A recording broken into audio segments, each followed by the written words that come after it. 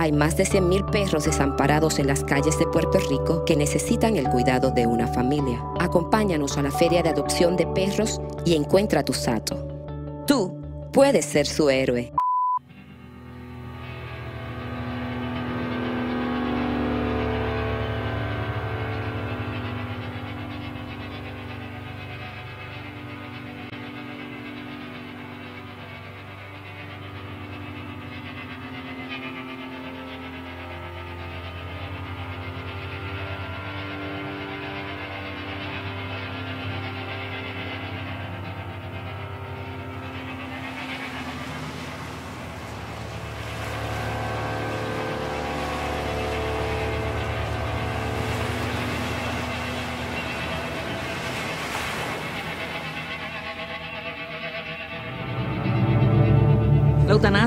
Muerte sin dolor. Tirar un perro por un puente no es muerte sin dolor, es crueldad. Mataron a 80 perros lanzándolos por un puente en Vega Baja. Recogidos bajo amenaza en Barceloneta y luego arrojados vivos. Fueron amenazados de ser sacados de sus viviendas si no removían de allí a sus perros. Y eventualmente esos animales fueron encontrados bajo este puente. La manera en que 80 animales fueron recogidos en los residenciales fue totalmente incorrecta. Este es Jolie, sobreviviente de la masacre de Barceloneta ayuda emocional. Pero el daño emocional de los dueños de esas mascotas es irreparable. Te tiraron contra el piso. ¿Y qué van a pensar esos niños, ese futuro de este país, de las autoridades?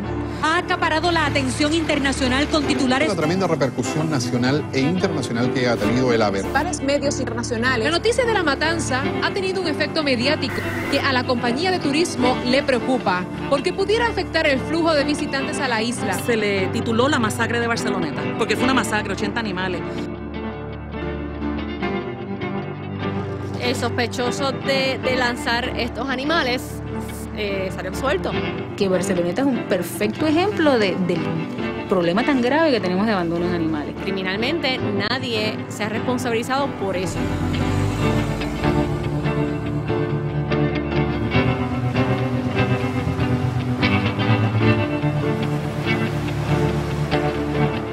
En Puerto Rico nosotros tenemos un problema de sobrepoblación de animales. Este, las personas no quieren esterilizar, tampoco quieren adoptar, entonces se, los animales se siguen reproduciendo.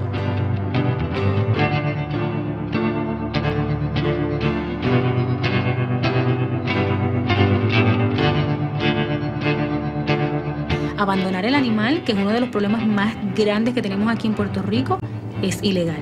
La responsabilidad ha recaído honestamente en las rescatistas del país.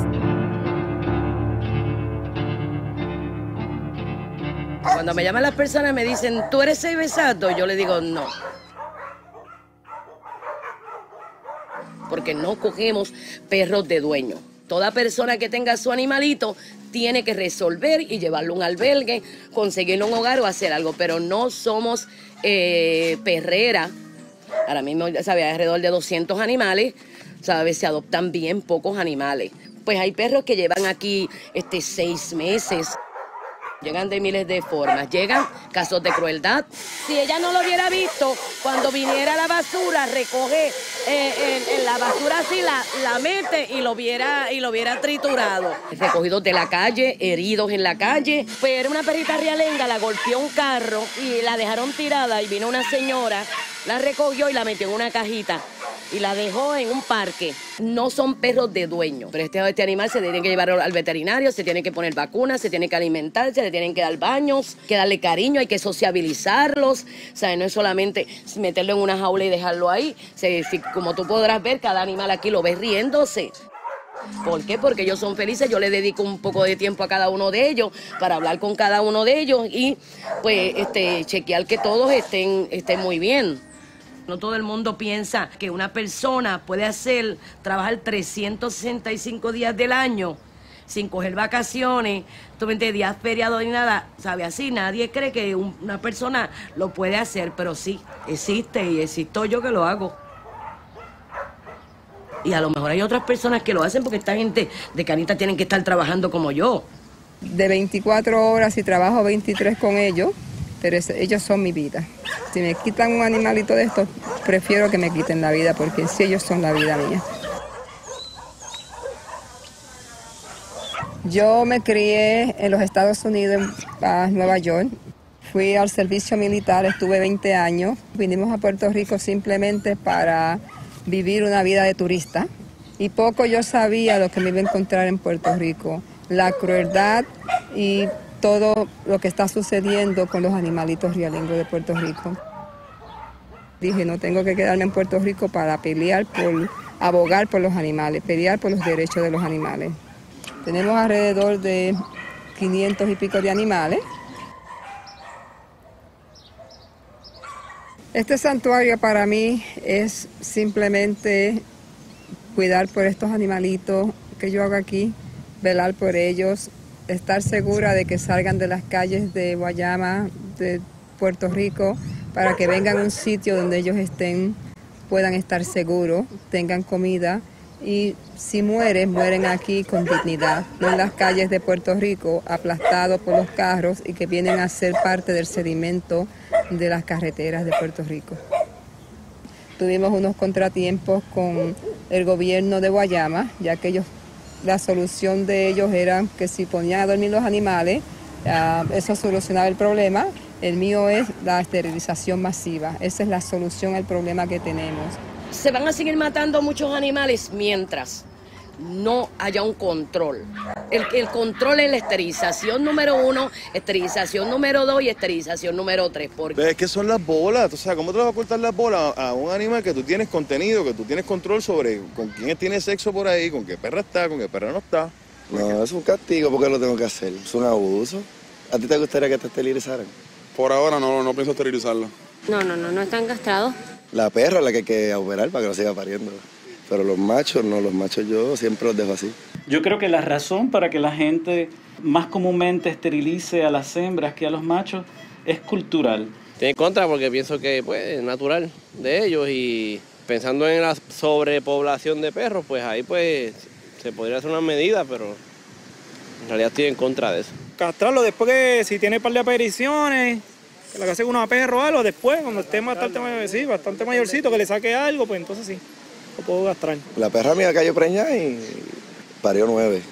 ¿Qué hiciste con los otros ocho? Los vendí. Era muy difícil convencer a los dueños de esterilizar a los machos, especialmente si los dueños eran hombres. Pero la esterilización de la hembra se consideraba rutinario este, y se consideraba tradicional. Sí, el macho. Me lo dejaron en 100. Lo pienso casar. Pienso vender los perros. Paren una vez espera como un año, después vuelve, si acaso, a la echada de nuevo y paren y ya, dos apariciones, porque ya tres y cuatro apariciones es como un abuso. Si nosotros podemos esterilizar antes del primer celo, reducimos la posibilidad de que desarrolle cáncer mamario en el futuro hasta un 95%. Nosotros los venderíamos, o si no, nos ocupamos de los hijos, nos ocupamos de que tengan buen hogar y eso, si no, nos quedamos con ellos. No le quiten las bolas, bro. Que te corten las bolas, mano, y te tienen más. No, no le quiten las bolas, bro. Eso son las bolas. Eh, los animales se reproducen por instinto, ¿eh? no se reproducen por una necesidad de comportamiento o una necesidad fisiológica tampoco. Pienso que va en contra de la, de la naturaleza. Como yo por lo menos soy pro animales, yo no tengo ese problema. Toda persona que hagan, este, dejen hacer un animalito es culpable, punto. De que mueran más animales, esa persona es la culpable.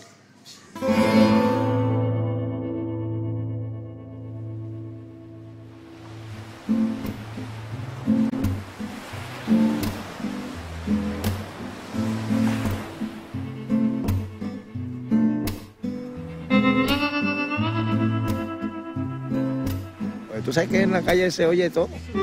A veces es cierto, a veces es falso, ¿verdad? Uno nunca sabe. Desde que yo era pequeño se rumora que la gente que entraba a mercadear petróleo se llevaban los perros que abandonaban en la playa para usarlos de alimento. Bien, y se los llevan a 10 dólares por cada perro. Son los chinos.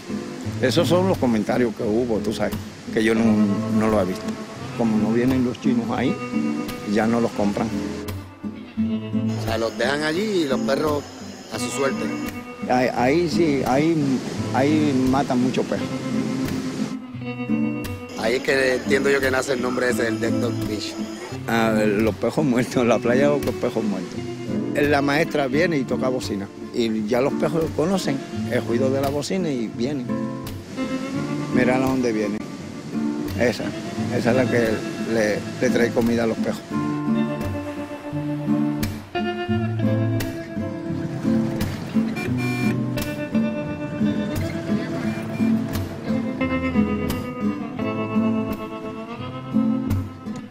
Abandonan aquí perros casi todos los días.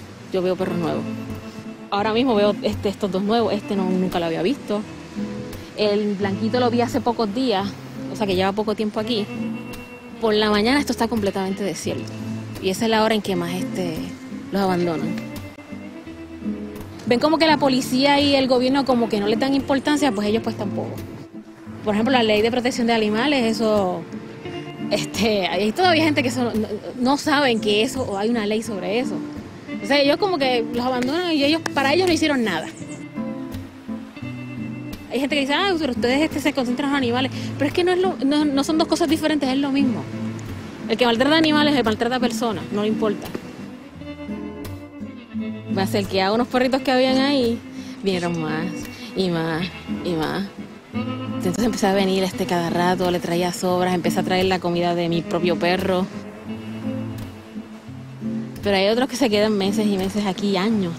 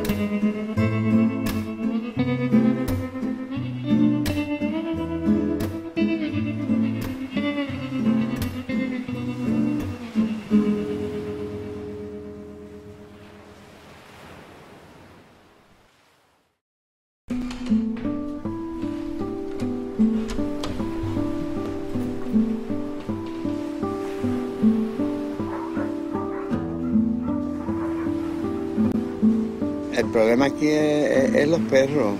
Aquí la gente viene, pero dicen todo está bonito, pero lo malo son los perros. Y a veces quieren comer algo y impiden por los perros. Vienen muchos turistas, sí, vienen, vienen, claro, claro. Nosotros somos de Tampa. Venezuela original. Venezolanos originales, pero yo viví aquí en Puerto Rico por muchos años. Puerto a mí, Rico me en encanta. cuanto a los perros, yo acabo de hablar con mi hermana hoy y le digo, esto es horrible. Esos perros no solamente están en la, en la playa de que por si les hace daño por su piel, tienen que hacer algo. Tienen que hacer algo, porque la isla es preciosa. pero es principalmente lo que no me gustó, eh, horrible. Bien, bien Bueno, bajo, mira, como tienen a los animales. Yo te puedo decir más, yo viví aquí en Puerto Rico cinco años y yo el tiempo que pasé aquí la pasé de maravilla y todavía yo, yo, re- yo, yo regreso a Puerto Rico porque me encanta. Esta es una isla que es preciosa, bellísima. Pero cuando yo viví aquí nunca tuve la impresión de los perros porque nunca viví afuera.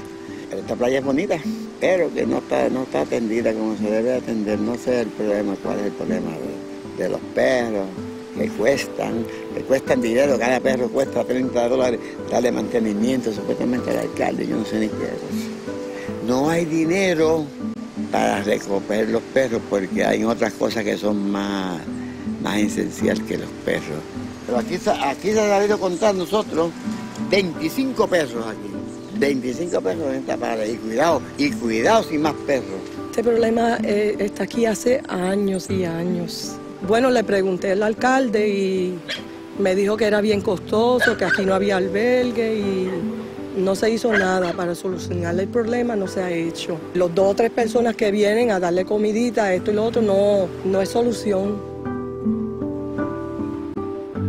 Entonces aquí tiran, aquí botan, descargan aquí sus problemas y terminan los perritos enfermos aquí, enfermando la misma playa. Yo soy una que no traigo a mi hija ya, ni vengo a, verla- a visitar la playa ya. Me da pena, me da mucha, mucha pena como las condiciones que están los perritos.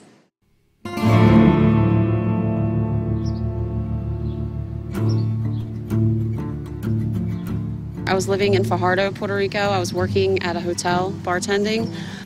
My first day here, I rescued a puppy, and I thought that this was like something like, oh my God, a stray dog. I take the dog to a vet, and the vet starts laughing at me. He says, Well, you're going to find a lot of these. So every day I'd find, you know, 10 dogs, 20 dogs. And so I started rescuing the dogs. Somebody told me, you got to come to Los Machos and see the dogs. So I drove down here and there was probably 100, 150 dogs at that time on the beach. And that's when I met Maggie. Si ellos pudieran hablar, ellos te dirían, yo no quiero que me dejen aquí, yo tenía un dueño y el dueño me trajo aquí. Yo llevo cinco años ya voluntariamente haciendo esto. Y yo me crié en este pueblo y en esta playa, cuando yo era más joven, yo prefería no venir por no verle las condiciones en que estaban esos animalitos ahí. When I met her, I said, I want to help you. And she just started crying hysterically. Se mofan de mi persona, Bromas de mal gusto por esto que yo hago. a lot of people that I talk to say, Oh, I want my dog to have puppies because I want another puppy that belongs to her because I love her so much.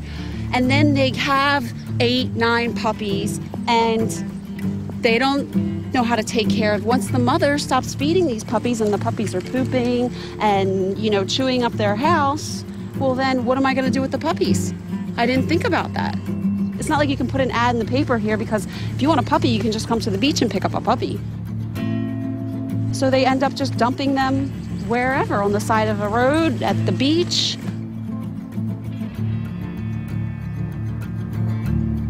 Son más los que están en contra de lo que yo hago que lamentablemente los que están a favor de que se resuelva algo aquí. Tengo un vecino que me trató de esas nosas en un periódico regional de aquí, El Horizonte.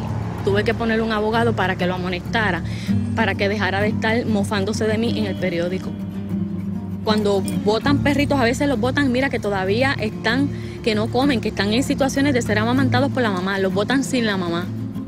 Yo le hago como unas improvisadas, como unas casitas, porque si llueve, para que no se mojen. Ella te puede dar fe de eso, le pegaron fuego a eso. Le pegaron fuego a todo, o sea, eso no fue accidental.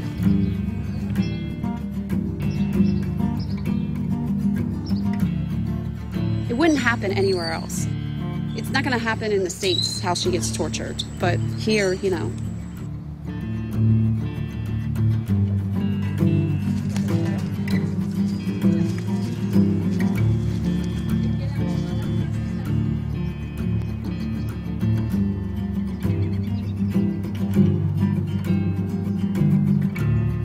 Yo he encontrado gente que estando yo allí, en los baúles de los carros llevan animalitos casi asfixiados, casi muertos, para dejarlos allí.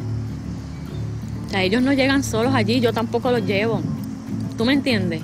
¿Sabes? Hay que hacer algo con los que tienen esta práctica. ¿Quién va a detener eso? We had a month of witchcraft on the beach. Uh, all the dogs, they were taking out the eyeballs. The skeletons have obviously been like bleached clean, and they were hanging from the trees.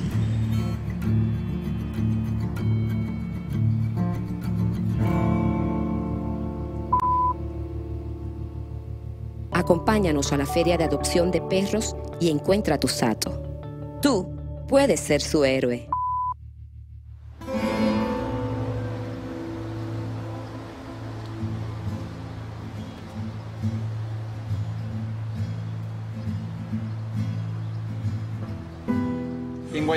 Perros? Que sí hay. Hay muchos, sí. No, Aquí nada más hay como 16.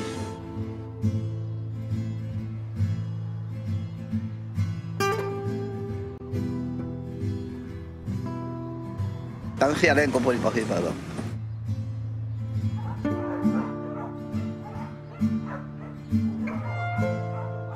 Me encantaría que aquí en Puerto Rico fuera como en Estados Unidos.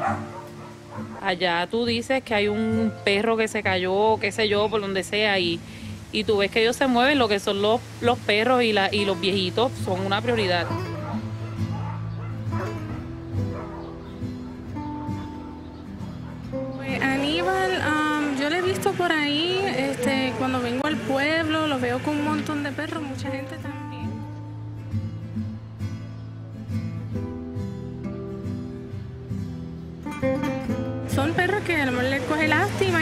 comida y el, perro, el animal te sigue, pero obviamente un ser humano no puede tener 20 perros, ¿verdad?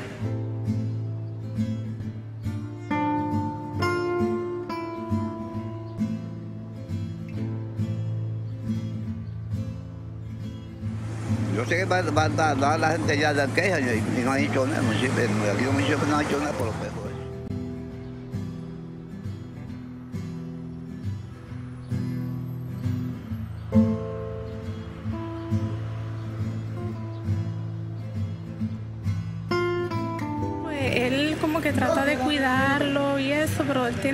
¿Dónde vive y eso? Pues de verdad no sé.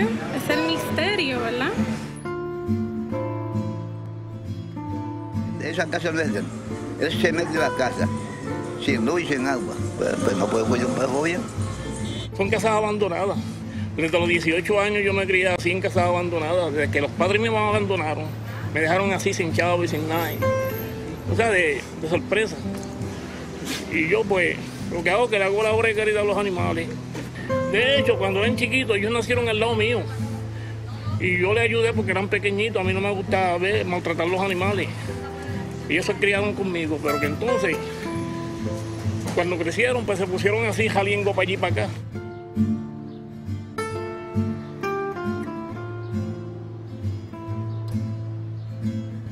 Yo nací aquí en soy natural de Guayama.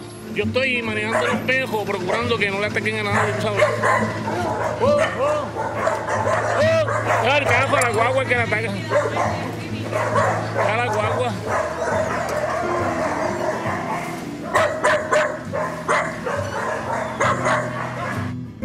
Los pejos jodieron a una señora en el- lugar donde yo vivo, acabándome de levantar, pues los pejos salieron de un momento, de repente, y, le atacaron a una señora la jodearon, pero no la llegaron a morder, porque la gente, los carros intervinieron, y yo intervine también para que no la mordieran. Entonces, vino el guardia municipal como a las dos semanas y me buscó a casa para darme una cita al tribunal eh, de la sala de investigación. Entonces allá, pues con la jueza, una juez, pues vino y firmó unos papeles para mandar a recoger los perros. Entonces, pues ellas me dejaron ir, ¿ves? Porque como los perros son jaliengos, se criaron así y siempre están protestando por ellos, porque son agresivos y se ponen violentos, ¿ves? Porque la gente los agolpean también y los tiran con perdigones, los tiran con botellas, los tiran piedras. Y ellos se ponen así agresivos. Y porque ellos alegan que tienen sarna y pulga. Pues pero que están, no están bien cuidados y están llenos de sarna y de, de pulga. Y, Porque hay muchos vecinos por aquí que le molestan los perros. Sin embargo, mis nenas salen a la calle y juegan y nunca la han atacado. Es una persona que de verdad hay que admirar. Créeme. Él le busca, aunque sea un pedacito de carne para cada uno. Él no le gusta ni que nadie le dé comida. Se cree que se los va a envenenar. Bien celoso con ellos. Pero que ellos me dijeron que tenía que, que dejar que se los llevaran y quedarme solo así. Y yo pues eso es lo que voy a hacer, dejarle que se los lleven.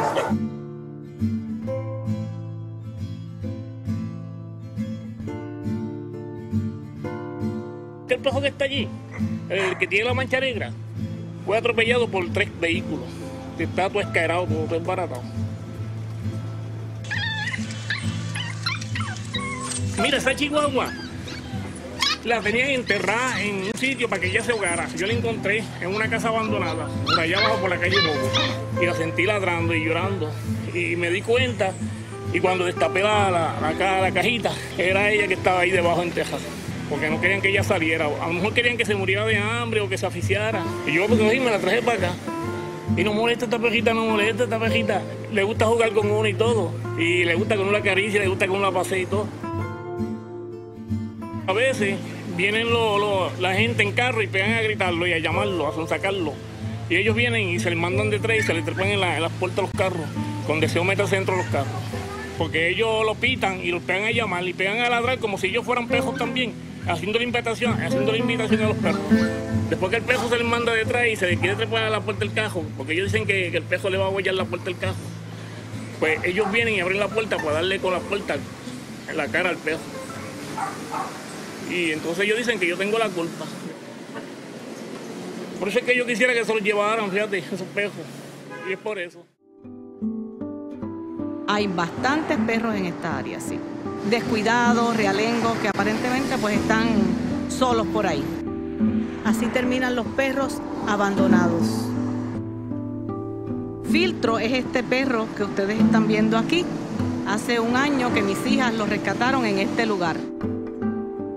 Filtro estaba en muy malas condiciones físicas.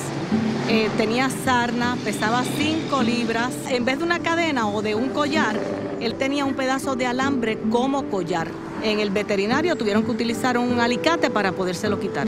Estaba en tan malas condiciones que nadie lo iba a querer. Tenía muy mal olor. Al ver que no le podían curar o que tenían que visitar el veterinario muy a menudo, quizás no tenían los medios económicos para poder ayudar al perro, pues decidieron dejarlo ir o botarlo. Dentro del tiempo que hemos cuidado de filtro, este es el resultado de luego de un año de mucho amor y tratamiento médico.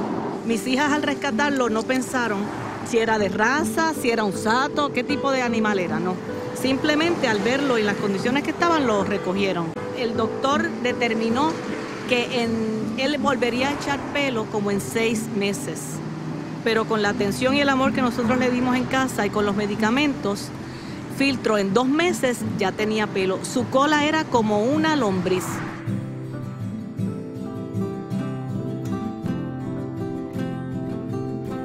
Le dije en mi casa, si filtro se mejora, lo llevaré a Puerto Rico Docs para que filtro se una al grupo de terapia canina.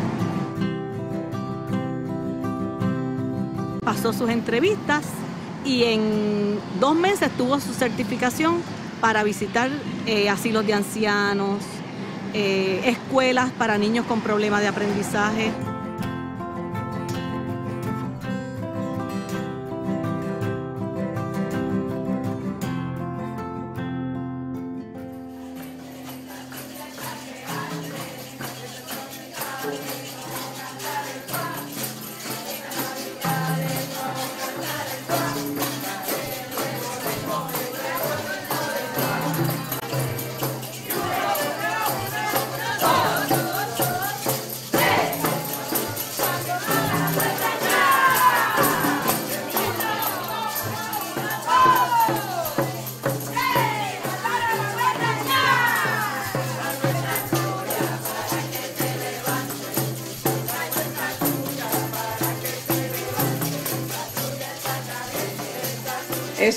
Proyecto fabuloso porque nosotros estamos viejos y ya casi nadie se acuerda de nosotros. si mi novio lo sabe que estoy recibiendo besos de otro.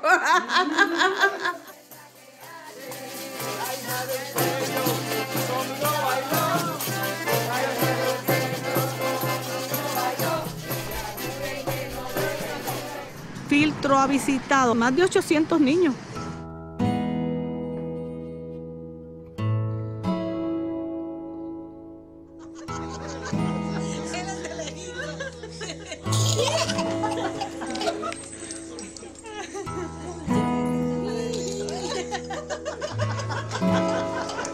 Ha mejorado tanto que era de deambulante ha llegado a psiquiatra. Los animales nos dan tantas cosas buenas que eso hay que reciprocarlo. Los niños tienen sus mascotas y no las pueden traer al hospital y disfrutan de la visita de los, de los perritos.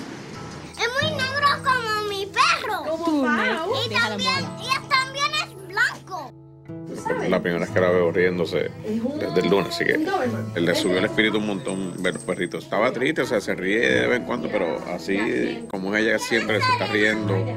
Y cuando vio a, a- a Filtro específicamente, se olvidó que la enfermera le estaba poniendo un suero y ni cuenta se dio que le pusieron una aguja.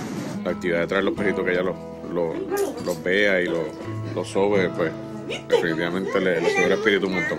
llevando alegría y felicidad, compartiendo su alegría también, porque él ahora es un perro feliz. Lo que no le dieron a él, pues lo está dando a otros.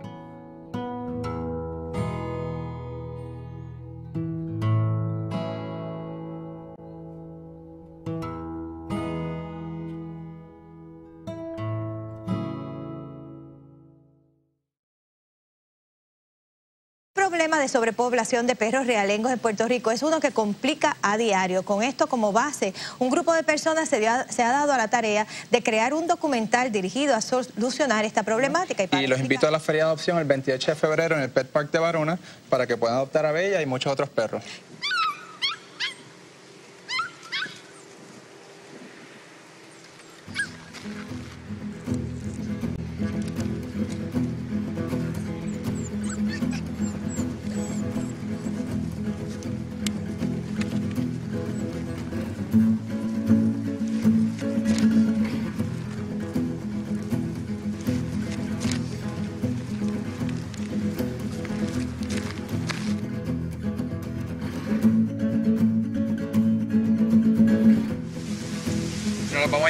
De Carolina a ver si encuentra un hogar.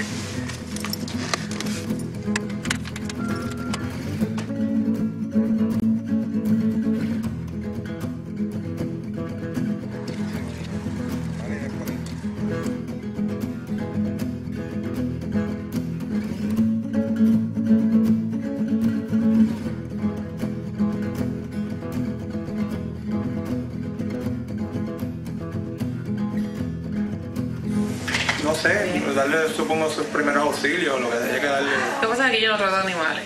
Ah, no. Entonces, el volumen que a mí me llega, si yo me pongo a tratar animales, ¿me entiendes? Pues yo lo que hago es que, obviamente, cuando nosotros somos centro de control, si instalamos el vehículo, tuviéramos más capacidad.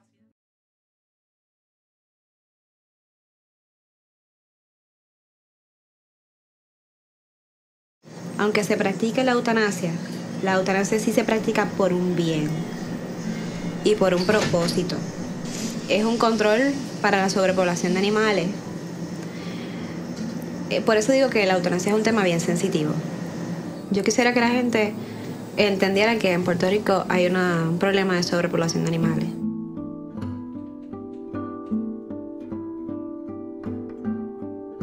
Estas 12 jaulitas de cuarentena, si están llenas, no tenemos espacio para animales nuevos.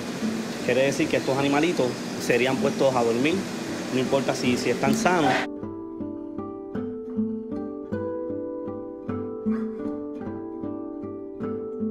Yo sí creo en la eutanasia. Miren la condición que llegan los animales aquí al albergue. Por eso es que yo prefiero la eutanasia antes de que los animales terminen como terminan realmente. De este animal no ser recogido por aquí, por el caballero aquí presente. Este animal en la calle va a morir con una agonía de dolor. Ahora mismo este animal puede estar sufriendo dolor. pudo haber tenido algún dueño y cuando ya no lo pudo tener, lo soltó. Están por la carretera, le dan patá, abusan de ellos, mueren de parásitos, de virus, de enfermedades. Esas son las cosas que tratamos de evitar, ese sufrimiento de los animales. Pero hasta que las personas no cojan conciencia de que los animales son responsabilidades, nos toparemos con esos casos así. que para que mueran lentamente, sufriendo, agonizando, yo creo que una de las opciones, sin dolor, es eutanasia.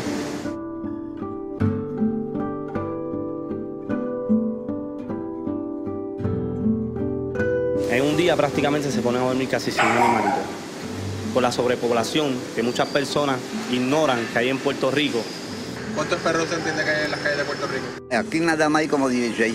25 perros en esta pared. Y cuidado, y cuidado sin más perros. Desde 50 mil hasta 100 mil.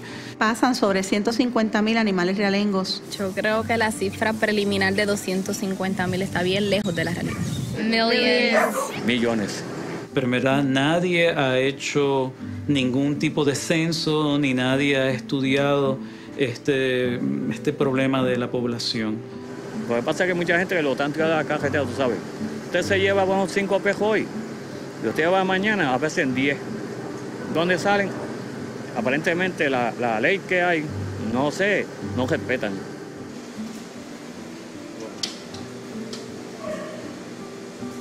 Un animalito, quizás este animalito ni a una, a una clínica lo llevaron nunca. Está bastante maltratado este animalito. Pues este animalito ya en el día de hoy no pasa la evaluación, ¿ok? por la condición en que está. Este animalito sería puesto a dormir. Cuando empecé aquí a trabajar, pues sí, se hacía difícil, realmente, porque uno como ser humano tiene sentimientos, pero ya al pasar el tiempo uno ve tantos casos de maltrato y abuso que uno prefiere, antes de que un perro sea matado por una persona, una persona de causa la muerte, brutalmente un animalito, pues uno ya al pasar el tiempo prefiere que sea mejor con una inyeccióncita. Se siente uno mejor de saber que un animalito es puesto a dormir de esta manera, de que es un trabajo que se tiene que hacer, porque los animales no saben y muchas veces las personas se comportan como animales.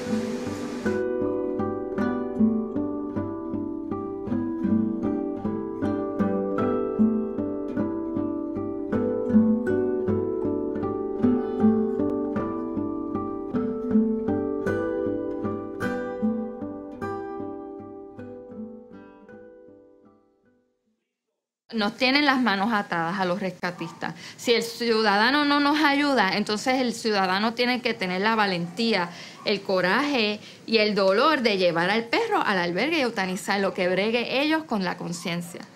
En Puerto Rico, si tú me consigues a mí personas que adopten todos los perros realengos de, de la calle, no, no sacrificamos ni uno. Pero ¿quién aquí adopta? En Seibesato, dos personas al año. Y nosotros tenemos 200 animales ahí esperando. Y le vamos a dar la responsabilidad a Estados Unidos. I'm very excited about this. I am from Connecticut And why you came to Save Asato? because I found the special need more so than in the States. ¿Qué pasa con Puerto Rico? ¿Por qué los puertorriqueños no adoptan? Yo estoy hasta casi segura que la gente no le pasa por la mente la posibilidad de poder ir a adoptar en un albergue a un animal. ¿Por qué adopto? Porque realmente no tengo lo suficiente esto para poder comprar un perro y porque están muy caros, de verdad. Bueno, como lo estoy adoptando y me lo pienso llevar hoy, pues le pienso poner grillita, grilla. Nosotros no entregamos perros al momento a nadie. Por eso es que tenemos ese documento que es de precualificación. Y hasta que nos haga todo el debido proceso no lo entregamos. Por la sencilla razón que al momento de, de tu entrevistar a la persona, eh, y con respeto, o sea, lo digo en general por las adopciones, las personas siempre te dicen lo que tú quieres oír. Yo adoro los animales, especialmente los perros, los adoro muchísimo. Yo tuve por Nenarium, yo tuve por diferentes marcas, marcas no, perdóname, raza. Pues y que aparte de que es una terapia terrible, pues estoy aportando también a la sociedad y demás, porque en verdad, pues hoy en día la gente en vez de venir a entregar, lo que hacen es botar los animales y eso yo creo que no la hace. Ve, mira, si no los pueden tener, si no los quieren, vayan a un sitio donde saben que lo puedan dejar. Pues y aquí estoy esperando que me llenen los papeles y demás, a ver si me puedo llevar la grilla hoy. ¿Cuántos perros tú crees que desamparados en Puerto Rico? Ave María, válgame Dios, verdaderamente un montón. Y más ahora con la crisis económica que nos estamos encontrando, que la gente en vez de entregar los perros a un sitio donde los puedan atender y hacer esto mismo, adoptarlos y, y demás, pues lo que están haciendo echándolos a la calle. ¿Entiende? Por eso es que entiendo que hay muchísimo, muchísimo, muchísimo y que tenemos que aportar todos para poder arreglar esta situación por la que estamos pasando todos. La labor que todos nosotros hacemos es una labor completamente voluntaria. Nosotros no nos pagan por esto, solamente lo hacemos por satisfacción personal. Ahora mismo yo estoy casada, tengo dos niños, uno de mis nenes está con, con mi esposo, el otro de mis nenes está con mi mamá y yo estoy aquí tratando de sacar una perrita de nosotros que nos las abandonaron en canita y luego de que se verificó el hogar, se fue a la casa, todo estaba en orden, la persona dio una aportación por la perrita, con todo y eso nos las abandonan en la calle. Mi familia está esperándome y yo estoy trabajando con el caso de la perra y voy hasta las últimas consecuencias. Esto en este país se tiene que acabar y es ya. Ven acá, esta misma vez, ¿verdad? Corre, corre, corre. Claro, Ella- ella, es- para tener pelo ahora más rubio, por ella misma. Este, esta persona que está aquí presente eh, vino hoy, me trajo una perrita de Santiago Canita, alegando de que había hablado el sábado de este fin de semana con Glenda para entregarle esta perrita. Ella se fue a media hora, los, los, los empleados de aquí de mantenimiento me dijeron que habían dejado una perrita abandonada en un carrito de compra. Pero hoy en día la gente en vez de venir a entregar lo que hacen es botar los animales y eso yo creo que no la hace. Ella quería adoptar porque se sentía sola, quería una- un perrito que fuera su compañía, prefería que fuera bien pequeñito, por eso fue que le ofrecimos esta perrita porque ella es mezclita de Yorkie y ella dijo que ya no entendía cómo las personas podían abandonar animales y que ella quería una mascota para quererla. Yo, porque yo soy una persona que le lavo hasta los dientes, yo le lavo hasta los oídos, todito, todito, todito, todito. Cortarle sus uñitas y todo. Cuando estoy viendo televisión lo siento como parte mío porque me lo siento al lado mío y comparto mucho con él. Cuando hay alguien que no desea ya la mascota porque la vida puede dar muchas vueltas, lo que se le dice es que nos los devuelvan, nos, los, nos los entreguen nuevamente. El contrato muy bien estipula de que ella no puede vender ni ceder esta perrita a nadie que no sea nosotros. Y la abandonó afuera y esto es un delito. Ahora vamos para la policía y yo pienso presentar todos los cargos que sean pertinentes y esta persona por mí va presa.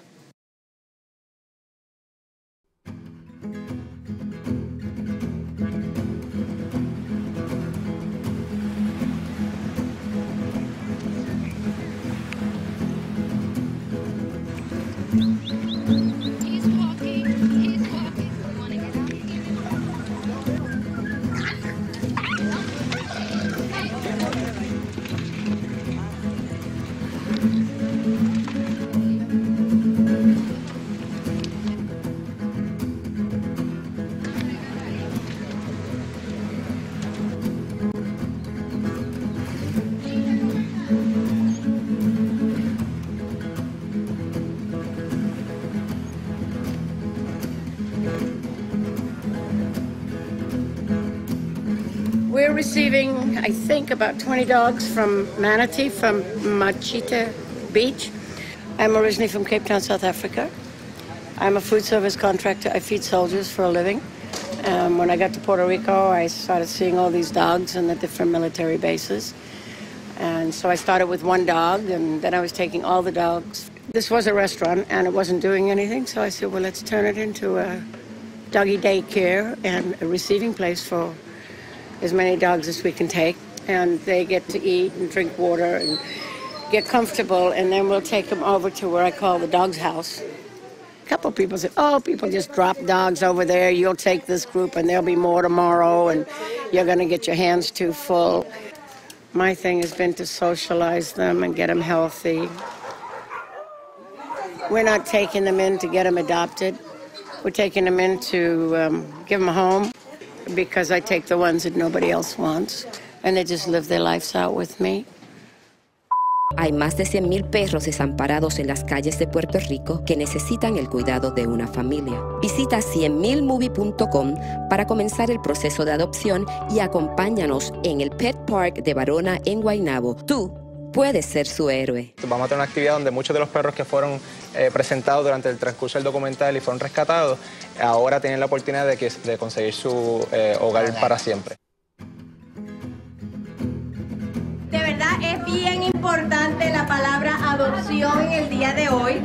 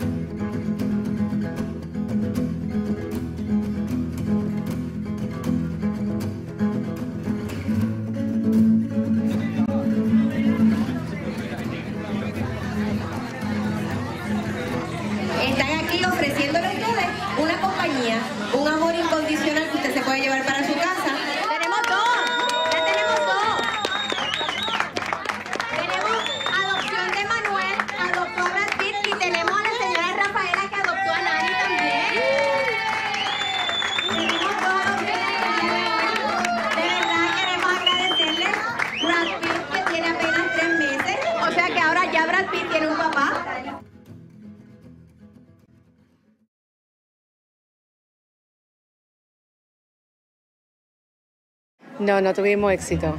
De verdad que la gente se acercaron, pero muchos de ellos están buscando perros de raza o perros bien pequeños para dentro de su hogar. Vinimos aquí con mucho entusiasmo, planificamos, hicimos un slideshow, estuvimos trabajando bien de cerca con el equipo. Yo soy bastante realista y yo esperaba que por lo menos eh, cuatro solicitudes, por lo menos. Y fueron dos.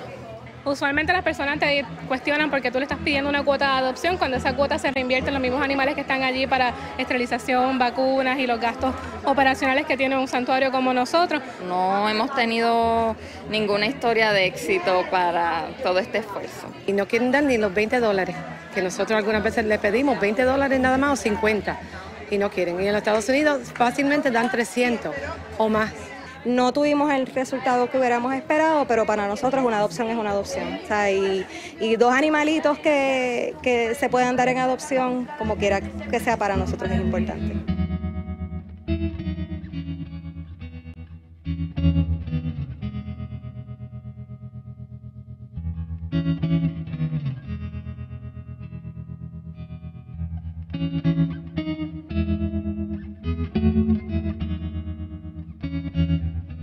Always name the dogs.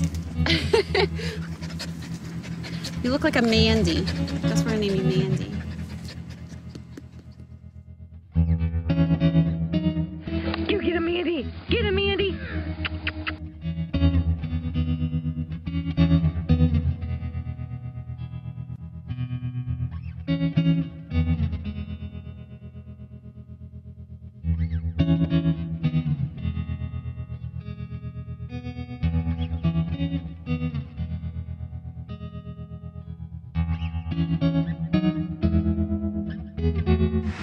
Pueden atender porque si la cogen aquí tendrían que ponerla a dormir.